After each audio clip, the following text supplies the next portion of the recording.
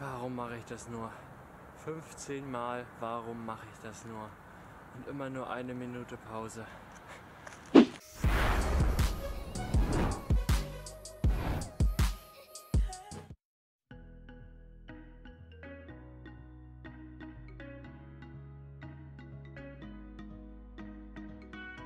Moin Moin und herzlich willkommen zurück zum dritten Vlog-Eintrag auf meiner Reise zum Ironman 73 Duisburg. Ähm, ja, ihr habt vielleicht gerade schon zu Anfang des Videos gesehen, ich wurde die letzten vier Wochen ordentlich gequält, ähm, hatte aber auch sehr, sehr viel Spaß dabei und ähm, ich muss sagen, ich merke tatsächlich, ähm, wie sich die Schinderei auszahlt. Klar gibt es irgendwo ein paar harte Tage, wo ich mir immer wieder an den Kopf fasse und mich tatsächlich wirklich frage, ähm, warum mache ich das überhaupt? Ähm, warum habe ich so einen Spaß daran, mich zu quälen? Ähm, aber das ist halt irgendwo so wirklich nur, wenn harte Intervalleinheiten anstehen, so zwei, drei Intervalle, wo ich wirklich das verfluche, wo ich gar keinen Bock habe. Ähm, aber sobald ich dann die Einheit absolviert habe, ist schon wieder äh, halb so wild und ich bin irgendwo froh und dankbar, dass ich es gemacht habe und freue mich auf die nächste harte Intervalleinheit. Ja, die letzten vier Wochen sind irgendwo wie im Fluge vergangen. Ähm, trainingstechnisch stand gar nicht so viel Neues oder anderes an. Wir arbeiten immer noch an der Entwicklung der VO2 Max im Laufen und auf dem Rad. Ähm, ich glaube, somit die größte Änderung in den letzten vier Wochen war, dass wir das Kraft- und Stabi-Training ein bisschen reduziert haben und dann eher mal so den Fokus wirklich auf die Nachbereitung der Läufe oder der Radeinheiten gelegt haben. Ja, Lauftraining, ähm, was hat sich da geändert, was habe ich da trainiert? Ähm, es war so, dass die Läufe langsam länger wurden und tatsächlich auch ein, zwei ganz lange Läufe mit dem Plan standen, bis zwei Stunden. Die haben irgendwo richtig viel Spaß gemacht. Ähm, und sonst war es halt eher so, dass wir Laufprogramme hatten wie 10 mal eine Minute, eine Minute äh, bis hin zu 2 mal 10 mal eine Minute. Die habe ich meistens am Deich gemacht, weil ich halt hier einfach keinen guten Berg gefunden habe, wo ich wirklich sage, ich kann eine Minute hochlaufen äh, und laufe dann runter und habe genau eine Minute Pause. Das war so das, warum ich gesagt habe, ich möchte es am Deich machen oder ich mache das am Deich. Ähm, das war tatsächlich so, hätte ich nie gedacht, dass man wirklich ähm, quasi nach zweimal zehn Minuten, eine Minute, eine Minute so im Arsch ist. Warum mache ich das nur? 15 Mal, warum mache ich das nur? Und immer nur eine Minute Pause. Ja, ich habe euch heute mal auf mein heutiges Training mitgenommen. Ich war heute am Deich, war noch 15 Minuten einlaufen knapp, dann kurz Lauf-ABC gemacht, ähm, danach noch ein bisschen kurz Mobility und danach hieß es 15 Mal eine Minute eine Minute Pause. Also insgesamt eine halbe Stunde arbeiten. Ähm, Pace-Bereich war immer so 3,20 bis 3,15. Die Pausen bin ich immer so 5 Minuten bis 5,15 gelaufen. Und ähm, ja, war geil und ich hoffe, dass Malochen bringt ordentlich was. Jetzt geht es noch kurz auslaufen, dann ein bisschen Themen, Blackroll und ja. Ihr seht hier am Deich eigentlich ganz gute Bedingungen. Da hinten sogar ein leichter Berg. Ähm, ja, bis bald.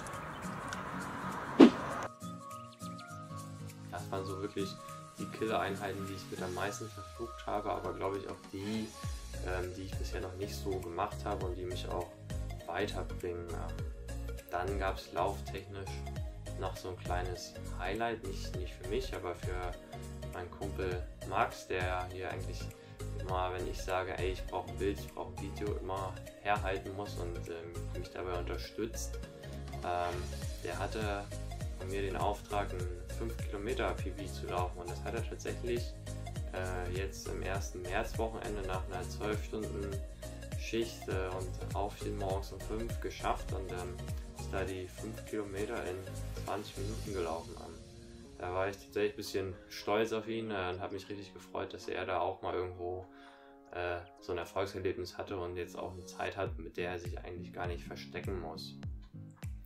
Dann das größte Highlight äh, jetzt der letzten vier Wochen war, glaube ich, äh, Mitte Februar der Frühlingsausbruch, wo halt mal ein Wochenende wirklich äh, frühlingshafte Temperaturen waren mit irgendwo 16, 17 Grad und wo einige Leidensgenossen wirklich frei gedreht sind und sagten sich, äh, ey, ich hole jetzt hier schon mal mein Wettkampfmaterial raus und fahre dann im Einteiler über den Deich. Ähm, war so, naja, kann man machen, muss man aber nicht, weil, äh, wenn wir ehrlich sind, sind jetzt 16 Grad jetzt nicht so warm, ähm, dass wir halt sagen können, ey, ja jetzt kurz kurz. Ähm, selbst kurze Hose fand ich war grenzwertig. Als wir dann gesehen haben, dass so tolles Wetter werden soll, ähm, haben wir kurz Rücksprache gehalten und haben uns entschieden, dass wir das nutzen und mal zwei längere Radeinheiten schon mal einbauen, ähm, so dass ich halt ein Wochenende hatte mit neun Stunden Fahrradfahren und äh, irgendwas bei fast 300 Kilometern. Ähm, das war geil, hat Spaß gemacht und ähm, hat mir auch wieder gezeigt, so, hey, genau deswegen möchte ich halt eine Mitteldistanz machen, ähm, weil ich halt diese langen Einheiten wertschätze. Zu den Intervallen oder zu den Intervallprogrammen lässt sich sagen, dass wir da ein bisschen weggegangen sind von diesen klassischen 3x13 x 30, 15 oder 4x4 Minuten. Äh, wir sind da eher hin zu 5 mal 5 Minuten und die 5 Minuten gesplittet und hinten drauf nochmal irgendwo so 10 bis 15 Minuten Sweet Spot. Ähm, klar waren da halt auch so diese klassischen 30-15er oder 40-20er mit dabei, ähm, aber eigentlich mehr so 5x5 gesplittet. Ähm, was heißt 5x5 gesplittet? Das sah dann halt so aus, dass wir ähm, die 5 Minuten in dreieinhalb und anderthalb aufgeteilt haben und dann äh, die dreieinhalb Minuten irgendwo bei 110 bis 115 Prozent der FTP gefahren sind und anderthalb Minuten bei 120 bis 125 und das haben wir so ein bisschen variiert, dass wir mal die eine Woche haben wir dreieinhalb, anderthalb gemacht äh, und die Woche drauf anderthalb und dreieinhalb. Ähm, und natürlich dann immer hinten raus und Sweets vorbei 95% der FTP das war eigentlich das, was so die letzten vier Wochen groß passiert ist. Ähm, ansonsten lässt sich halt noch zu meiner Trainingssituation sagen, dass ich ja aktuell Klausuren schreibe und viel abends im Dunkeln trainiere.